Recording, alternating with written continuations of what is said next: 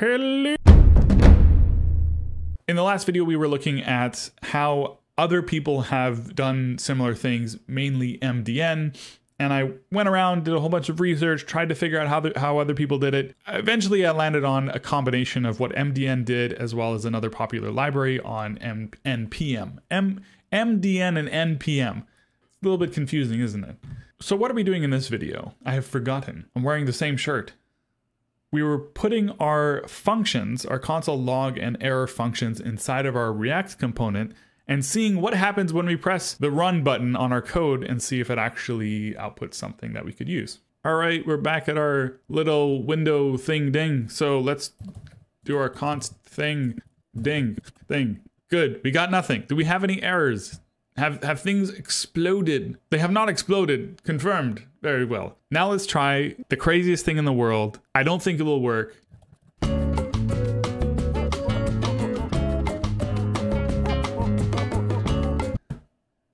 It worked! For those of you who this doesn't happen to very often, enjoy these moments. I definitely do. This is one of the one of the things that really excites me about software development is those moments when you don't expect things to work and then they magically just come together and start working. The next thing I wanted to do here is set error.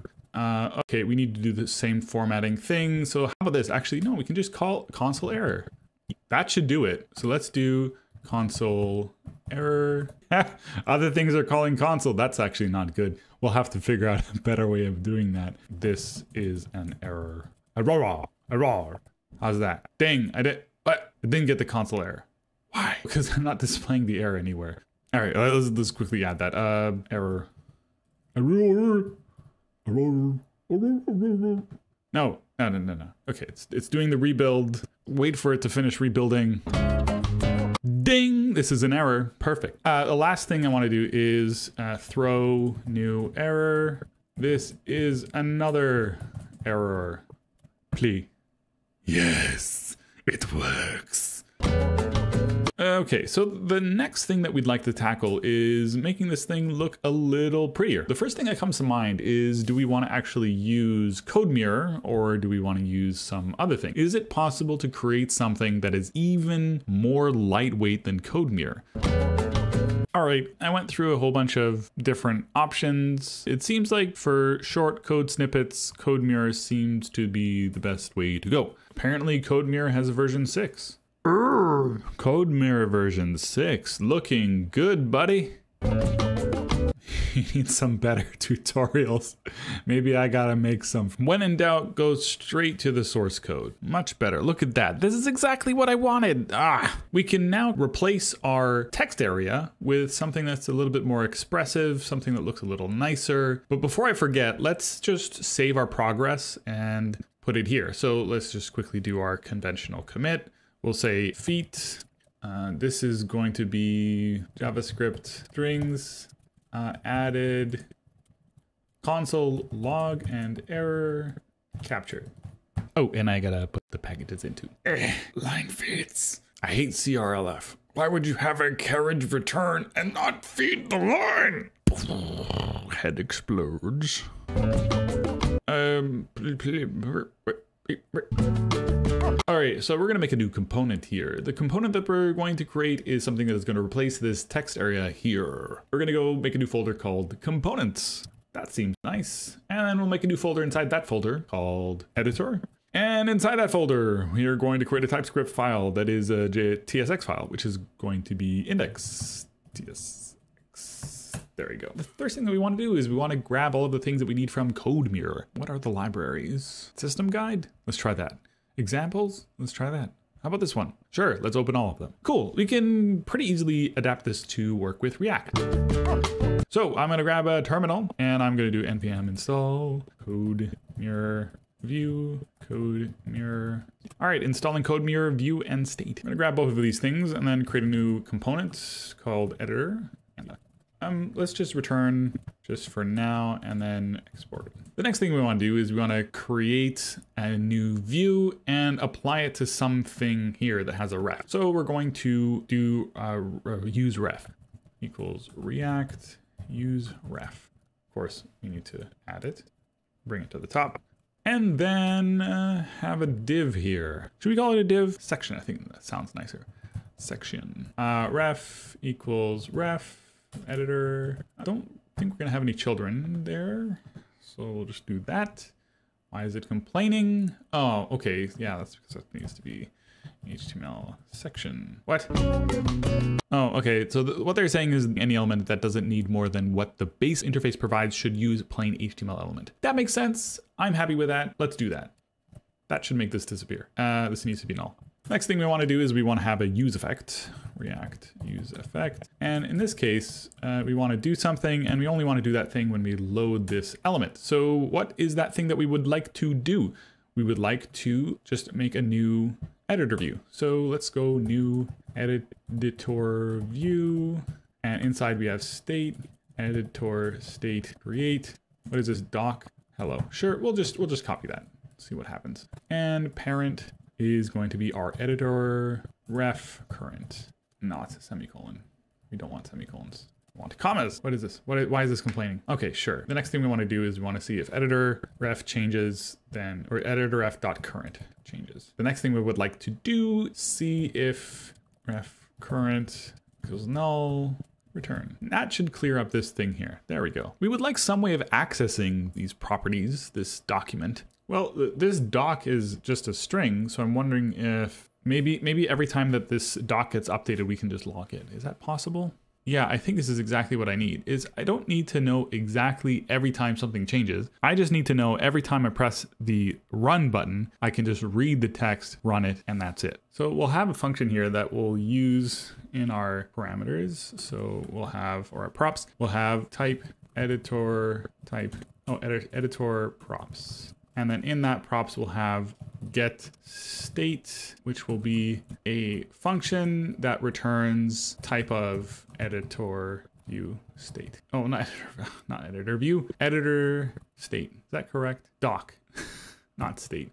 Doc, which is text. Uh, is there anything else that we need? We'll, we'll see if this satisfies our needs. So we'll just replace that with doc. Nice. All right, so we'll add this here. Oh, first we want to say this is a React function component. And oh, and we want to have the editor props. And inside here, we want to have our get state. And lastly, we want to make sure that we don't have children. So children never. Oh, and we have to do uh, there we go. Oh, why is this complaining? Doc does not exist on type of editor state. Right. Um, we can do editor state. I think this is all right. We can do that. Nice. Okay, so that that that is the way you do it. The next thing we want to do is now we want to pass our editor back into our strings.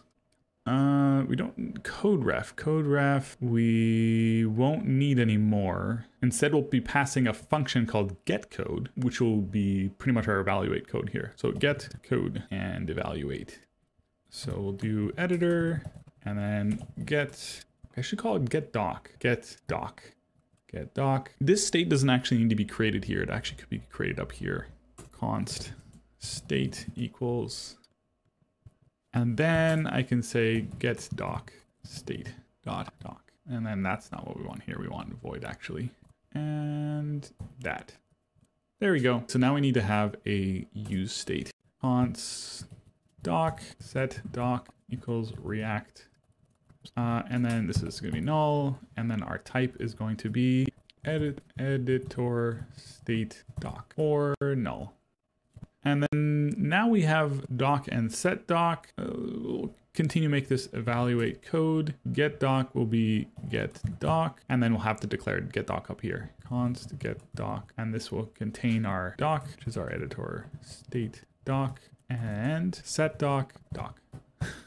uh, let's say let's call this something else. Let's call this uh, rename. Oh no, okay, that's wrong new doc. So uh, even though that there isn't any clash because they're in different scopes, I still like setting things to different names so that if you're doing like a find, then you're not accidentally picking the wrong item. Okay, so the next thing we want to do is we want to take that doc. I have no idea what it is, so I'm just going to say the code ref doesn't exist anymore, so I'm not sure why I'm not getting errors already for this, but we'll just say, yeah, let's just remove all of this. And then just console log doc and then return. We don't even want to do anything. We just want to log these things to console.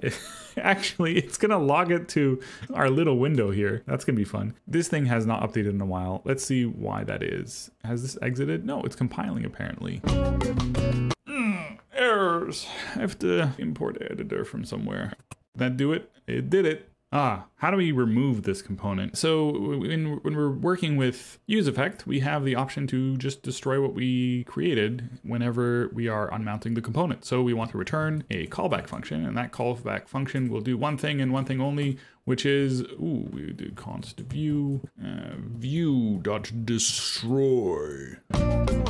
We should save that. That should help clean up that error that we have generated here. Damn it set state and render. Ooh, I think it is this. I think it's this. This is seems to be the culprit here. Let's just cut that out and put it here. I don't necessarily need to unmount the state whenever thing changes. So maybe after this, if it does work, I'll move the state outside because I think what's happening is inside here we have get doc and then as soon as I have this editor put here, it already calls a set state function, which is from get doc. All right, we are in business. Console log hello. And then press play and we should see something aha, okay, well, it, it worked, but not in the way that we wanted it to. How about we'll just do doc, doc to JSON. It's giving me an error. I don't want an error. Object is possibly null. If doc null, we don't even care. Return. Oh my goodness. JavaScript heap out of memory. Ah, finally, okay, we're back. Console log, hello. Just so it's different. Damn it, why did that not work? I want to hello you. I don't want to just, just hello. we'll figure that out later. For now, um, console log hello. In here, we want to do doc to JSON and we want to re-implement our try catch block and we want to say code is equal to this join new line. That should work. We press there. We got hello there. The thing is, for some reason, when we redo this, we don't get an updated doc. How about this? What we can do is we can remove this thing back up here again. I don't even think this needs to be in a React function. I can. I think it just can be up here. Try that, see if it works. That worked fine. Same thing as it did before, but now we want to do view state doc. Ah, can't put it there. You have to put it after. Ugh. Remove and put here. There we go. Maybe when we destroy the view, we should uh, also destroy the doc. Yeah, let's do that. Let's do that. Let's do uh, get doc null. And then let's say uh, doc can be null. And then we can also go to this and we can say this can also be null. Now let's do general Kenobi. Damn. doesn't work. First off, this thing to have seems to have a thing called toString. That's a lot more useful than toJSON, I think. Let's change that to string. I shouldn't be providing a function to pass the doc. I should be providing a function to the parent. Uh, instead of doing get doc here, so this this actually isn't a doc, it's just an editor state. All right, set editor state, set editor state, get editor state, new state. Okay, that's that. If editor null return editor state dot doc to string. Okay, that's good. And then do get editor state get. Okay, now we can go inside here and then get editor state and this state get editor state. I think that just about covers it. Okay, so what I did was I just went through all the things and replaced doc with uh, editor state. I think that's where my problems were coming from. Now, now it doesn't work.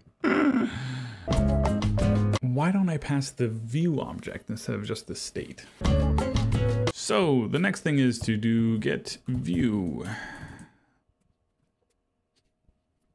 Get view is a function which passes the view. No, returns void. I want to pass view editor view void null okay null and then in the parent component view set view down here set view is this set view. There we go. Now I can, what I can do is in here, if I can say view, view, view is null, then return. Otherwise, we can do view state doc to string. Oh, use state editor view. Add import statement, and we can remove this line. Oh yeah. We're back. We're back to where we started. Oh, it works.